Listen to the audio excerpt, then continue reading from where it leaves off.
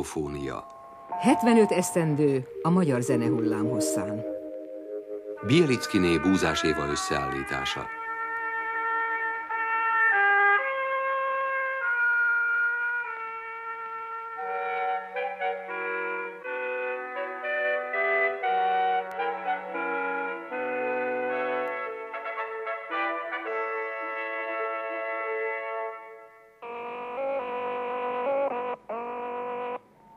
Kedves hallgatóink, köszöntjük Önöket sorozatunk 74. adásában. Mai műsorunkban az 1946-os év zenei eseményeiből válogatunk. A tartalomból. Hírek az operaházból. Emlékhangverseny Bartók Béla 65. születésnapján. Budapest vendége Jehudi Menuhin hegedűművész és a szovjet állami énekkar. Meghalt Bazilides Mária. Fischer Anné zongoraművésznő és Tóth Aladár zeneesztéta újra itthon van. A rádió zenei osztálya ketté válik. Kókai Rezső a komoly zenei és Polgár Tibor a könnyű zenei osztály vezetője. És végül Kósa György vonós triója és Járdányi Pál két zongorás szonátája a rádió műsorában.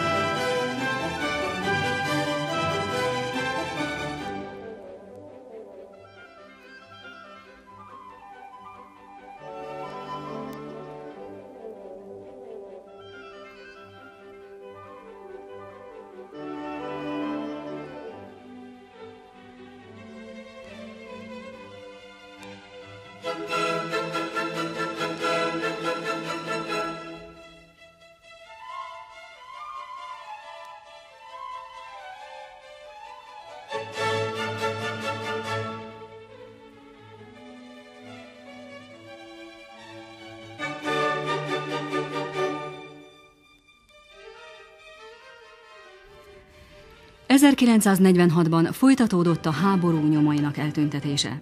Elsőként az Operaház nyitotta meg kapuit a közönség előtt. Az 1945-ös év elején Komáromi Pál, Székely Mihály és Nádasdi Kálmán direktóriuma, majd Komáromi egyszemélyes igazgatósága igyekezett újra működőképes együttest szervezni. A belső ellentétek, a pártharcok azonban nem kedveztek Komáromi igazgatói működésének, és 1946 nyarán leváltották.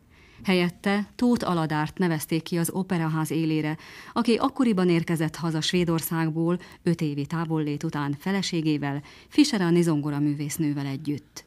Tóth Aladárt, az operaház új igazgatóját általánosan előlegezett bizalom fogadja. Két évtizedes zenekritikusi működése során számtalanszor tette le a garast és állt ki bátran, sőt merészen, bármi általa jónak érzett ügyvédelmében. Ezeket a sorokat Jemnész Sándor írta, kiemelve az új igazgató jó tulajdonságait, idealizmusát, ápolt ízlését és összefüggő, rendszeres gondolkodását. Tóth Aladár többször is nyilatkozott a Magyar Rádió című műsorújságban. Többek között ezeket mondta. Meggyőződésem, hogy a rádió bár nem pótolhatja a zene közvetlen hatását, de gazdagíthatja, kiszélesítheti a zenekultúrát és a zeneismeretet. Az egyik műsorban például a varázs fuvola részleteit játszotta a rádió Szabolcsi Bence kitűnő magyarázataival. Aki az ilyen összeállításokat meghallgatja, fokozottabb érdeklődéssel és kedvel megy az operába, hogy a remek művekkel személyesen is találkozzon. 1946. május 21-én még Komáromi Pál igazgatósága idején új betanulásban mutatták be Mozart Così tutte című operáját, amely az évad egyik kiemelkedő eseménye volt. Műsorunkat ennek emlékére kezdtük az operanyitányával. Az előadásról Jemnit Sándor kritikus így írt a világosságban. Mozart Così tutte című operájának felújított előadása példásan gyönyörű. Ez a szenzációs siker Ferencsik János karmesteri és Nádasdi Kálmán rendezői munkájának közös eredménye. Itt valóban a szereplőknek szerves egészé, igazi együttessé összehangolt csoportja énekel és játszik az opera színpadon. Senki sem magaslik ki a többiek közül sztárszerűen fölényes külön teljesítménnyel, Viszont a gyengébb taktársat is erősíti, lendíti az összességnek biztos tapintattal irányított szelleme.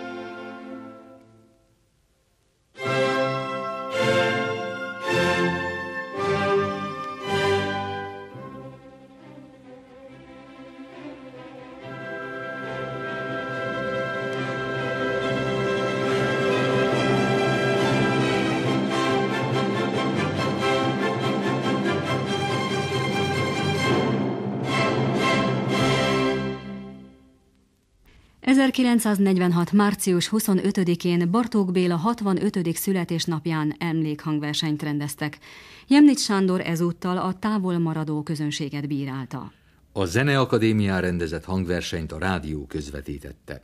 Szeretnők hinni, hogy a távol maradottak otthon hallgatták végig a műsort, mert a megjelentek elszomorítóan csekély száma korán sem állott arányban az alkalom jelentőségével.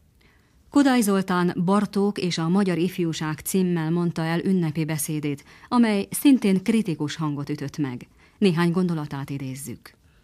Ma 65 éve gyümölcsoltó boldogasszony napján született Bartók Béla, és egész élete a születése napjához fűződő képeket varázsolja elénk. Rügyfakadás, gyümölcsoltás, magvetés, megújulás, újjászületés.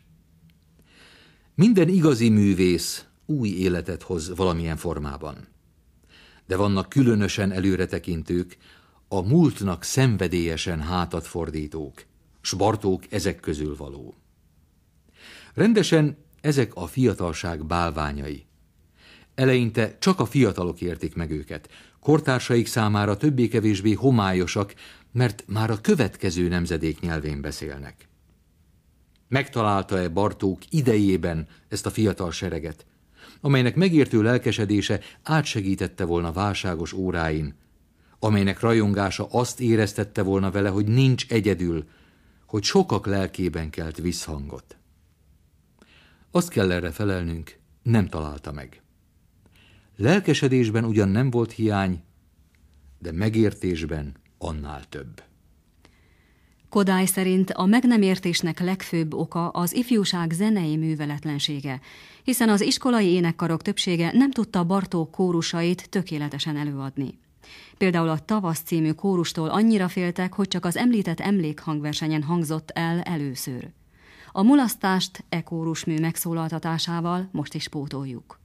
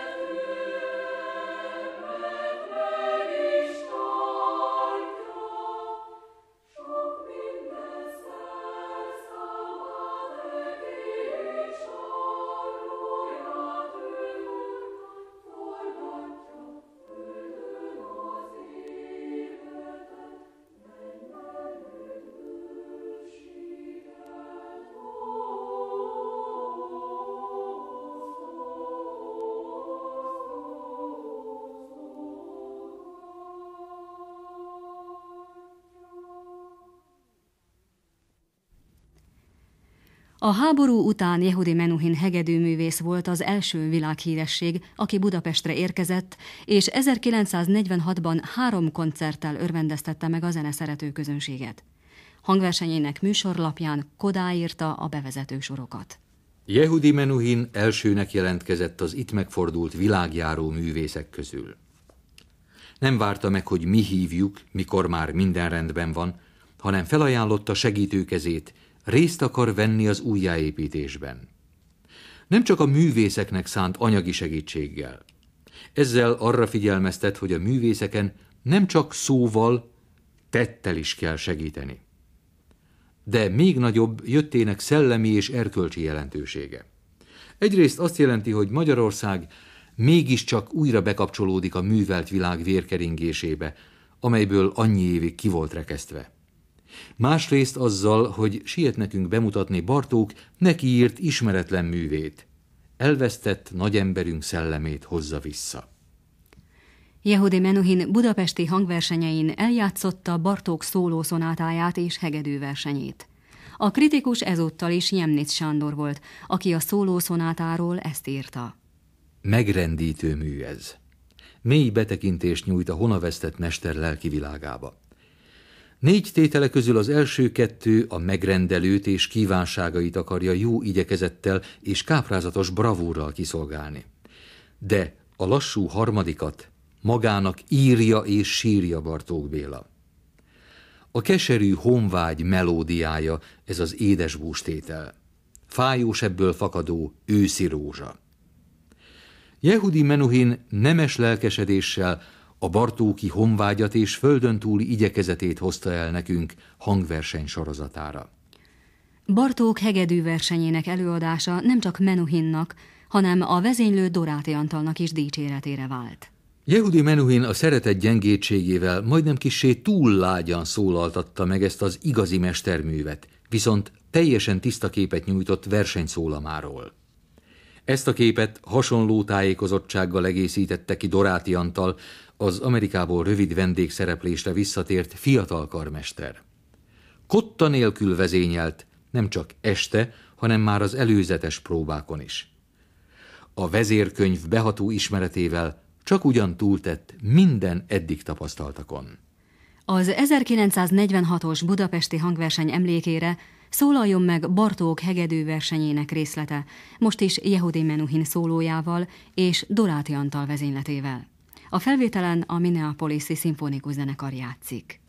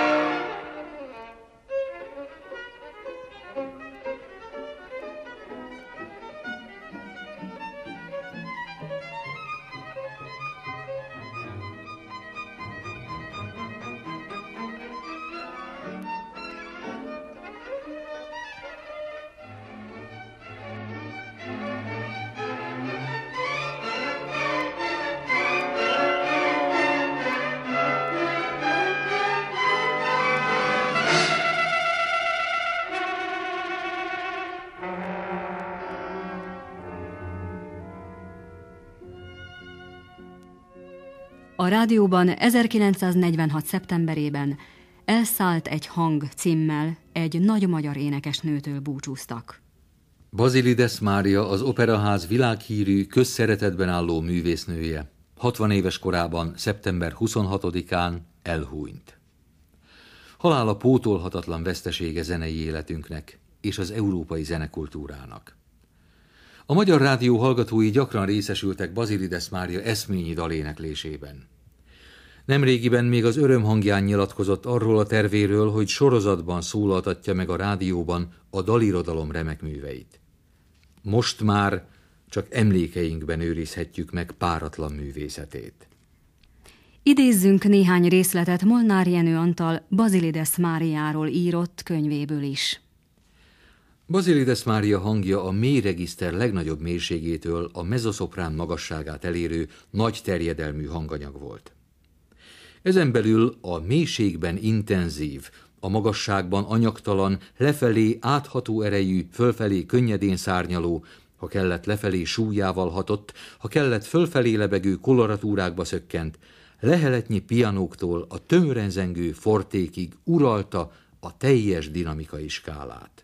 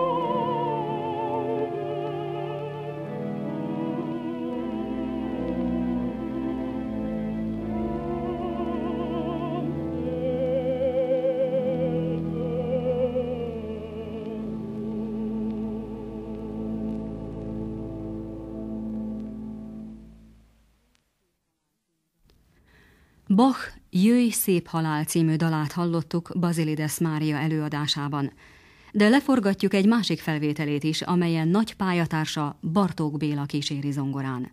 Előtte azonban folytassuk még a könyvlapjain írottakat. Csajkovszki Pigdáma című operájának bemutatója volt az újjáalakult operaház első nagy művészi sikere, amelyben Bazilides Mária személyesítette meg a grófnő rejtelmes figuráját. És 1946. június 25-én a Pigdáma évadzáró előadása volt az utolsó alkalom, amikor Bazilides Mária színpadra lépett. Azzal a jelenettel, amelyben szerepe szerint meghal, maga is örökre búcsút mondott a színpadnak. Ezt követően kezdődött el a betegeskedés időszaka. Hogy a biztos vég felé haladt, ő maga tudta a legjobban, és a véget lelkének csodálatos békéje és harmóniája megnyugvással várta. Az utolsó hetekben képzeletét Bach és Schubert zenéje foglalkoztatta, és az új magyar muzsika, melynek boldogulásáért annyit tett.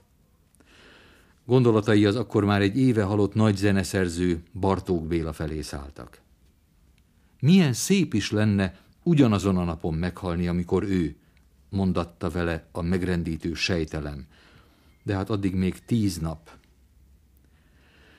Pontosan tíz napig élt még, és ugyanazon a napon Bartók Béla halálának első évfordulóján, 1946. szeptember 26-án örökre lehúnyt a szemét.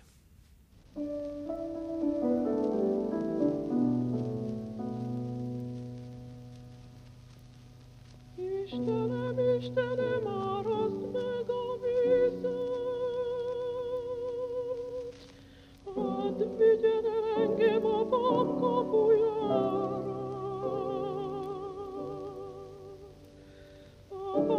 我不要。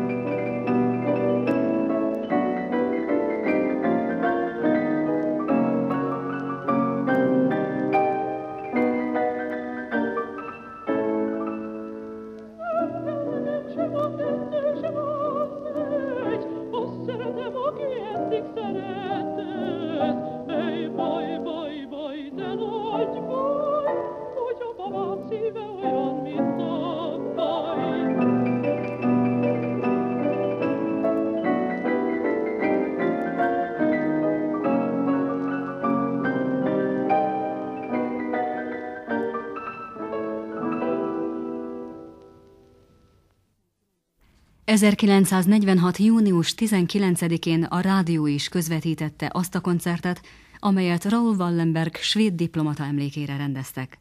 Az előadók között ott volt még Basilides Mária is, de a hangverseny fő érdekessége a svédországi emigrációból hazatért Fischer Anni szereplése volt. Szabó Ferenc, aki ugyancsak akkoriban jött haza a Szovjetunióból, szintén jelen volt, mint kritikus. Írása a szovjet hadsereg napilapjában az új szóban jelent meg. Ebből idézünk egy kifejező mondatot, majd pedig csendüljön fel Beethoven címmol szonátájának első tétele, Fischer Anni legszebb felvételeinek egyike. Fischer Anni kivételesen tehetséges és muzikális játéka a minden nehézséget legyőző technikai felkészülés és a művészi elmélyülés tökéletes egysége volt.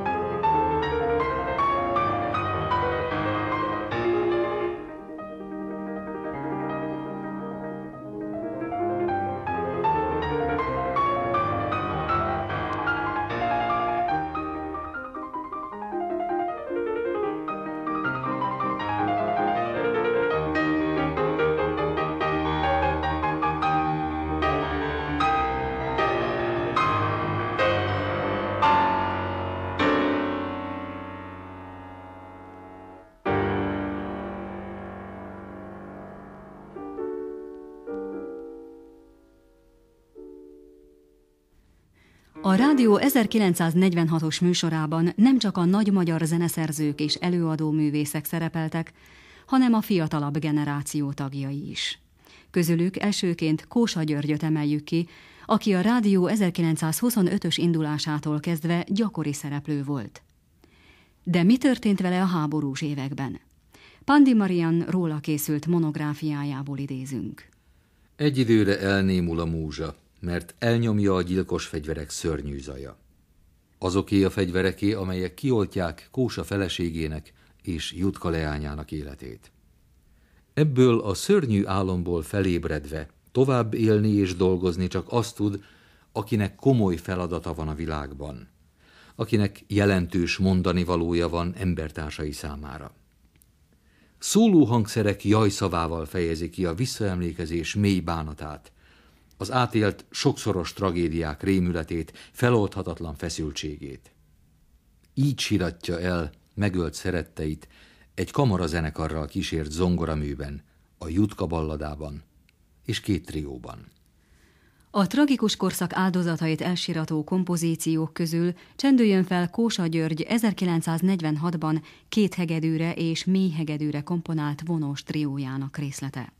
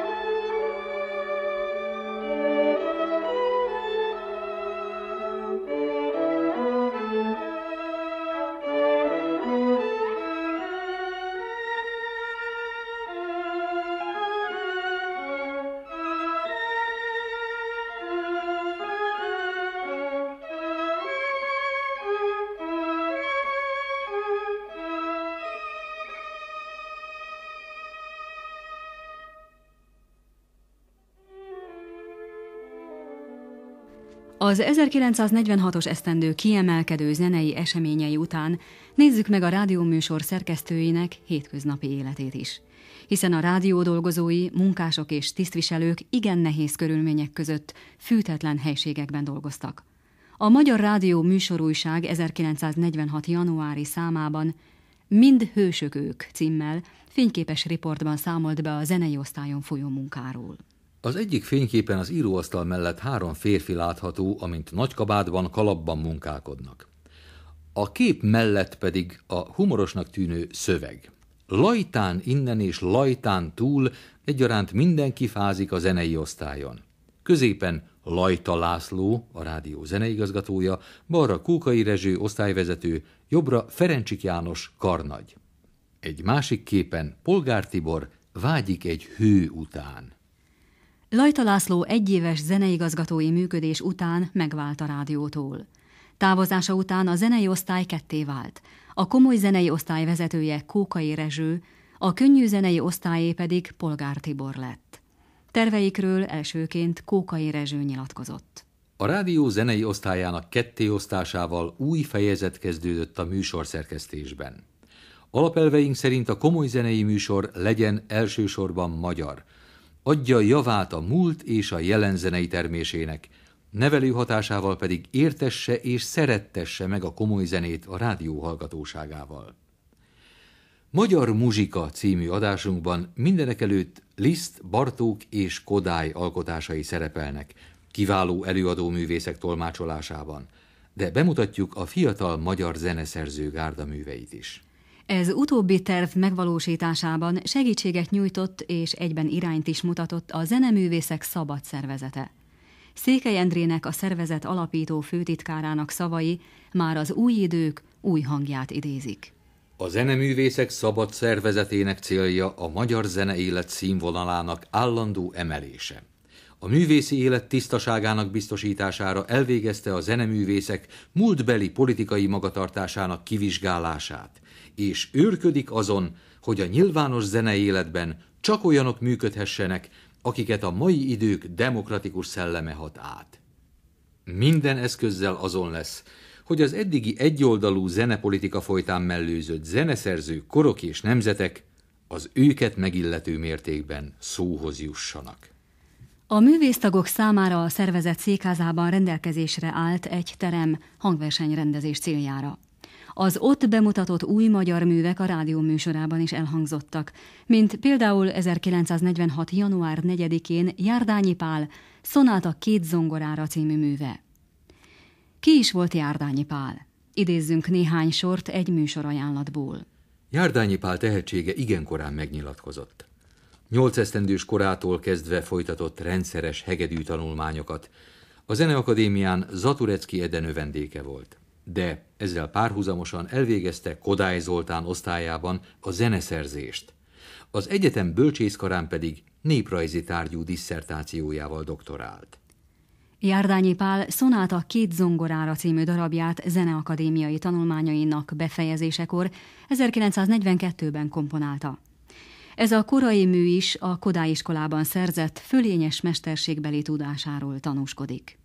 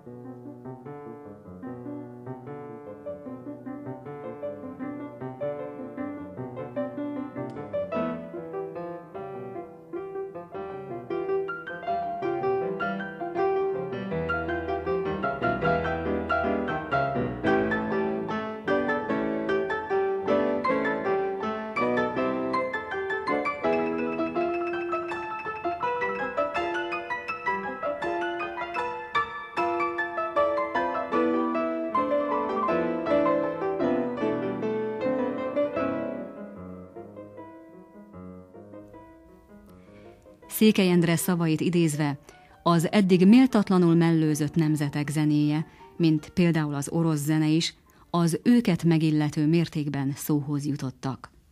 A szovjet előadóművészet első hírnökeiként 1946. október 31-én mutatkozott be a budapesti operaházban a szovjet állami énekkar. A hangversenyről a Szabad Nép hasábjain Szervánszki Endre így írt. Felejthetetlen művészi élményben volt része az operaház közönségének. A szovjet állami énekkar Szvjesnyikov tanár vezetésével három órán keresztül szebbnél szebb produkciókkal gyönyörködtette hallgatóit.